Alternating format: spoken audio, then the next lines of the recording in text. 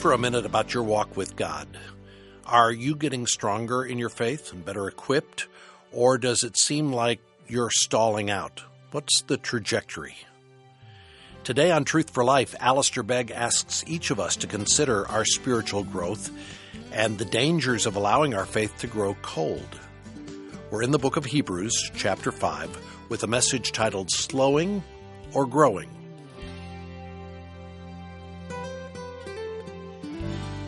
The encouragement which the writer has just delivered to his readers is on the basis not simply of gracious words, but is largely on the basis of good theology.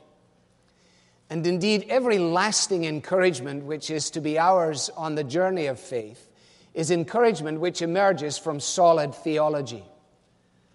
Superficial responses to the circumstances of our lives will sustain us for only a very short period of time. And the great truths of the fact of the high priesthood of the Lord Jesus and the deity of Christ, the wonder of who he is and all that he has done, are the solid theological underpinnings upon which our Christian faith is built. And so the writer, in addressing this, before he proceeds with what he has identified as this uh, issue of the priesthood of Melchizedek in uh, chapter 5 and verse 10, to which he's going to return uh, in chapter 7.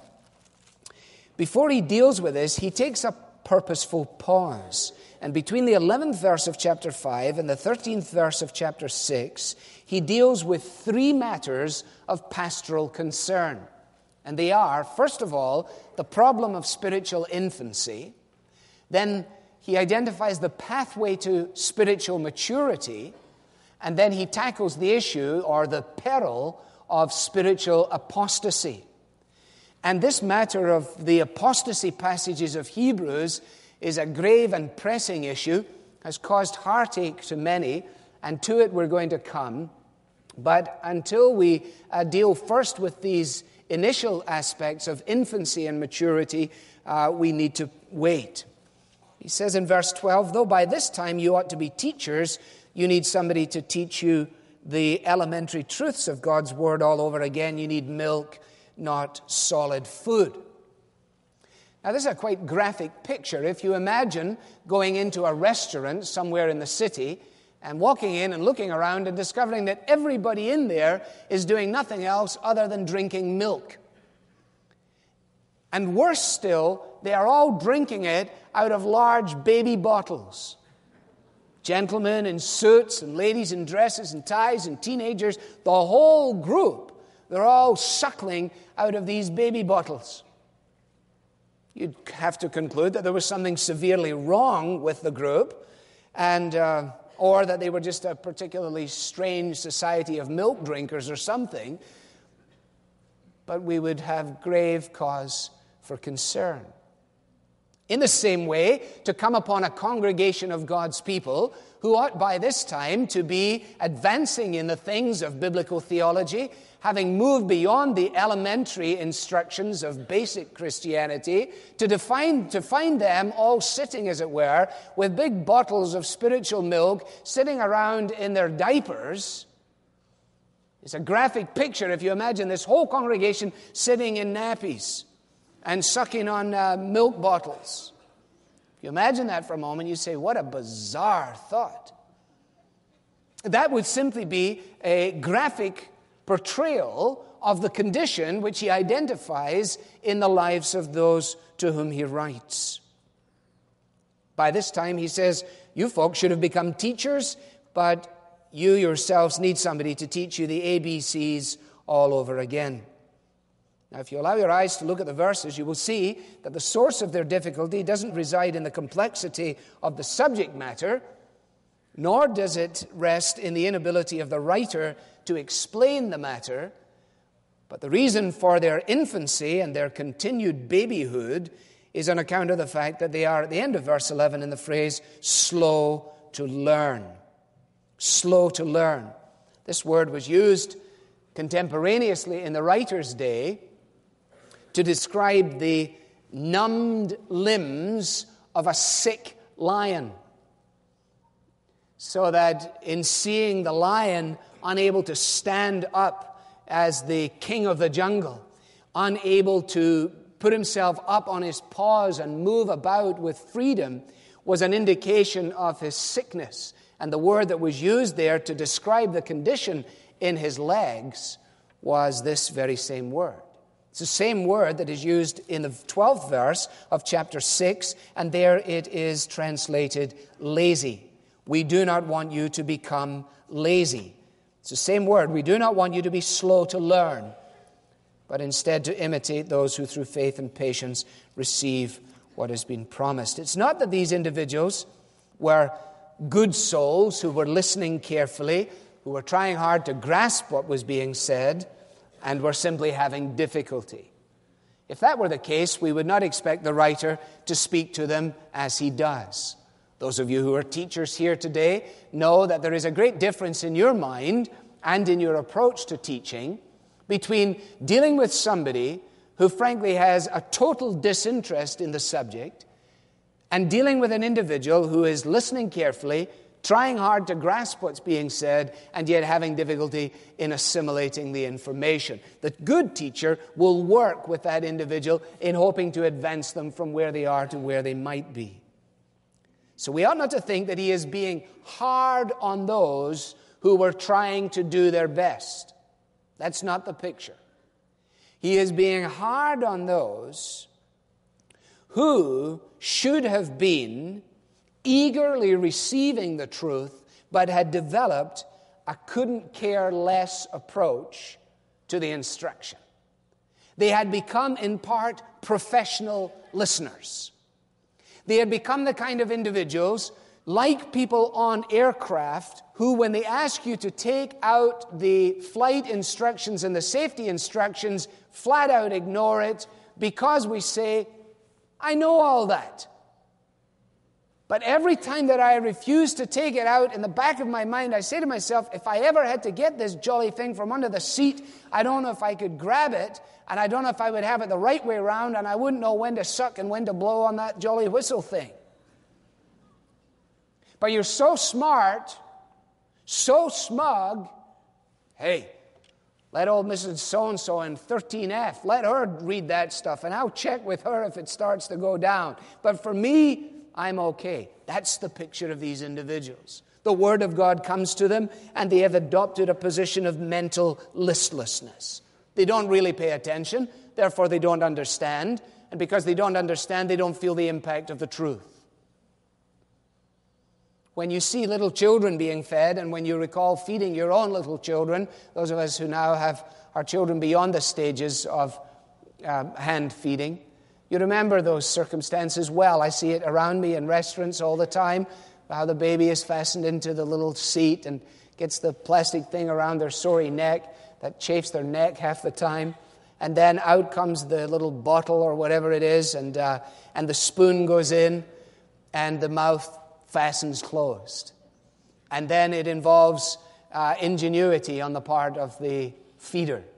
And so you have all of this the flying spoon routine, you know. So, woo, here comes, here comes the airplane, woo, all that nonsense. You know that stuff? And the kid's like, hey, don't give me the airplane stuff. We did that last week. I don't care. I'm not interested in this. Come on, we're going to bring the ship into the harbor. Now, we did the ship thing Friday. We're not, the ship thing's not going to work. I don't care. And so, what happens to a congregation who refuse to absorb the Word of God as it's given to them? What happens to a lot of pastors and teachers is that they start to try and present the food, as it were, on roller skates. Or they start to bring it in. Come on, here comes the airplane. Come on now, open up. I've got to get it in you somehow. I've got to think of a clever way to come at it. i have to come of an angle with it because, after all, they don't really want it. And so that's why when you go to churches, all this paraphernalia going on because you've got a big bunch of babies. They're sitting there with their bottles, never advancing. And consequently, the feeder has to get dramatic and creative in seeking to force feed them. The same kind of carelessness and indifference to food is that which is expressed by many of a husband whose wife goes to see her mother for a few days and leaves behind all the careful instructions on the refrigerator door and all the prepackaged meals in the requisite places with the identifiable breakfast, lunch, dinner thing on it Monday, Tuesday, Wednesday, Thursday, Friday, only to come home and find out when she opens the refrigerator door that everything is exactly as she left it. Why? Because he said he couldn't really be bothered. And she says, What? You only had to reach your sorry hand in here, pull it out, put it in here, take it out, put it down here, and eat it. And you couldn't be bothered? That's right. I couldn't be bothered. Well, then you couldn't have much of an appetite. I guess not. We have much to say about this. It's hard to explain to you because you're too lazy, he says. You started out paying attention. In the beginning, your minds were focused, your hearts were stirred, but now so much of what you hear is to you nothing more than routine. I say to you again, again, loved ones, that if you find yourself listening to the good news of the gospel being proclaimed and saying in your mind, saying, Oh, I know that stuff. I can switch off for this, you're in danger, and so am I. Because those who love the gospel and love the word of God will love to be stirred by its truth all over again. And when for us the sound of God's word, the instruction of Scripture, becomes to us nothing more than a dull routine to which we respond with mental listlessness, then verses 11, 12, and 13 of Hebrews 5 come to hit us square in the face. And such failure means that instead of being teachers, these individuals have to go back and repeat first grade. They were like children who had previously made progress in their reading and they had chucked it for a while, and as a result of their disinterest and their thoughtlessness, they had actually forgotten the alphabet. And at their best, they could only go over the same old basic stuff. Their diet by this time, he says, should have been solid food, the kind of mature information that is necessary to grow to maturity. But instead of them being able to take solid food, all they could do was take this diet of baby food over and over again. So instead of what was obscure becoming clear, that which had previously been clear was becoming obscure. It's a sad thing to witness individuals who have never grown up, either physically or emotionally or mentally. It's also very sad to see individuals who have never grown up spiritually. Laziness has led to ignorance, and apathy has led to infancy. Now, you see, the real danger in this is as verse 12 of chapter 6 says, we don't want you to become lazy like this. We don't want you to do that because if you become lazy like this, it is a short step from there to spiritual oblivion. There's something very endearing about seeing a baby take its milk. Something really bizarre about a mature gentleman sitting sucking on a baby's bottle. You may have done that as a grandpa for a joke with your grandchildren. If you have a little bit of a sense of humor, and what do they say to you? They say, Oh, Grandpa, don't do that. Don't do that, Grandpa. Look at what Grandpa's doing. Grandpa's sucking on Susie's bottle. Look. Because you look such a clown. And even the children know this is ridiculous. Grandpas don't suck on these bottles. Grandpas did that when they were wee. But grandpas are big and old and gray and baldy, and they don't do that because they've gone from there to maturity. You don't have the senior citizens ministry in the K in, in the in the zero through six months room. By their indolence, says John Brown, the neglect of proper nourishment, they had spoiled their spiritual appetite. They had spoiled the power of digestion, and they had brought themselves to a state of second childhood. Do you realize that that can happen? This is not a sort of mythological concern, this is a reality. These people had their own eating disorder that they had developed. They were spiritually anorexic. They could be surrounded by the best of meals, and then only they would pick at their food. And they would only eat mush. And they would go back to the same old thing Rice Krispies and toast, Rice Krispies and more toast. And when all else fails, Rice Krispies and toast. Say, how do you know about that? Because I like Rice Krispies and toast. I just had a conversation with my wife in between the services, and she told me, she said, You're not having any more of that Rice Krispies and toast routine. Because I was suggesting that I didn't need lunch and, and we would be fine. And she said, No, you have to eat. You must eat. That's what the writer's saying. You've got to eat, folks. Otherwise, you'll just be big babies. You can't live on the milk. It's okay to like milk, it's good to have it as a part of our diet. But these individuals had never got beyond that stage, and consequently, they were unable to grapple with the implications of genuine Christian experience. That's verse 13. Anyone who lives on milk, being still an infant, is not acquainted with the teaching about righteousness. He doesn't know the right thing to do under God. He is not seeking first the kingdom of God and his righteousness. Matthew 6 33. Since they haven't got beyond the ABCs themselves, these individuals cannot seriously hope to be an encouragement to others in the things of faith. In fact, the opposite will be true. If you hang around with babies and with infantile conversation, you have to accommodate yourself to them. Isn't that what happens with babies? Why is it that people put their heads into prams and go, oochie coochie doodly doo? What is that? They're talking baby talk. Why? Because they're with babies. You don't go put your head in a, in a crib and go, hey, can you spell anti disestablishmentarianism? He's met by a blank stare. You put your head in, you go, coochie, doochie, boodlies, all that stuff. It's baby talk.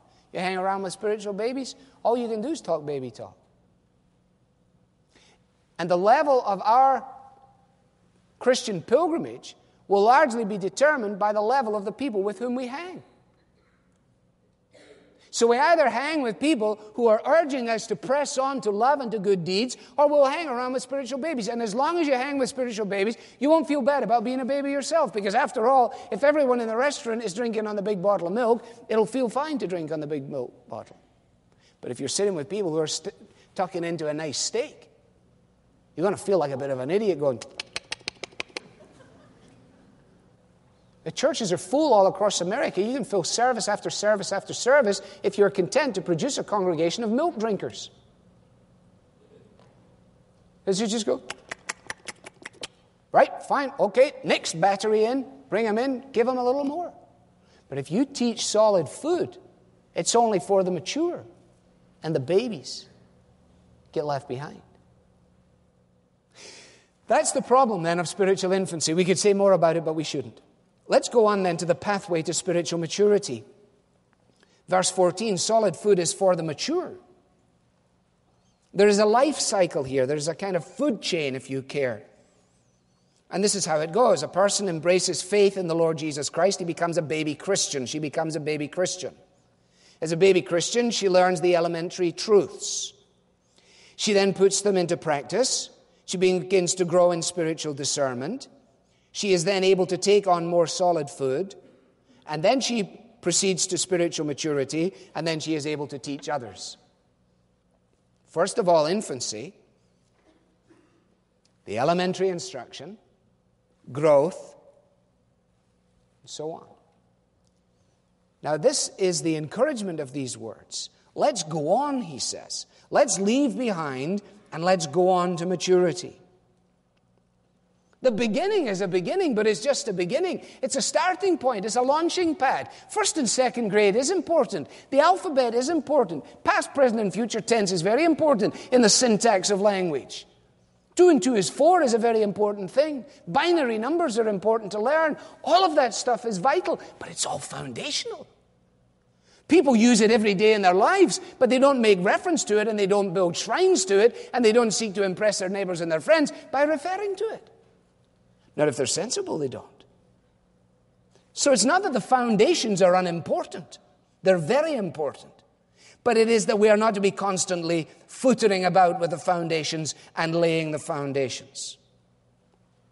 You see some people who say they're going to build their own house, and you look at it, and you've, and you've been in the neighborhood for seven and nine years, and it's got weeds growing out everywhere, and there's just about two courses of bricks sticking above the ground. And every so often on a miserable Saturday, you drive by, and there's some poor soul digging around in the foundations. And then nothing happens for three months, and you go by again, and there it is again. And you want to roll the window down and say, Are you ever going to get beyond the foundations? I mean, are you going to make a career about fiddling around here? The foundations are very important. We should take time with them. But once in, we move on. He says that's exactly what we need to do.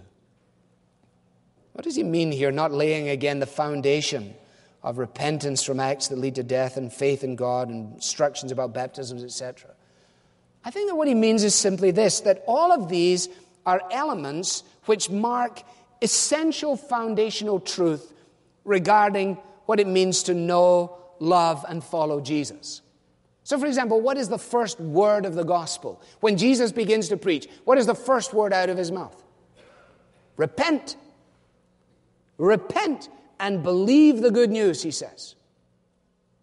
So, repentance is a vital foundational truth. Repentance is also a daily experience. Once we have grasped that, we are to live in the light of it. Faith in the Lord Jesus Christ, trusting in Him, relying upon Him, is foundational, and then we build upon it. Baptism is foundational. The laying on of hands was a symbol of the receiving of the Holy Spirit and of being incorporated into the church. The resurrection was the foundational news given to the new believer that death is not the end, but Jesus is alive from the dead, and therefore when we die, we will go before God, we will face judgment, and we will be welcomed into his presence. All of these are the foundational truths. Now he said, we build on these things, but we don't stay there.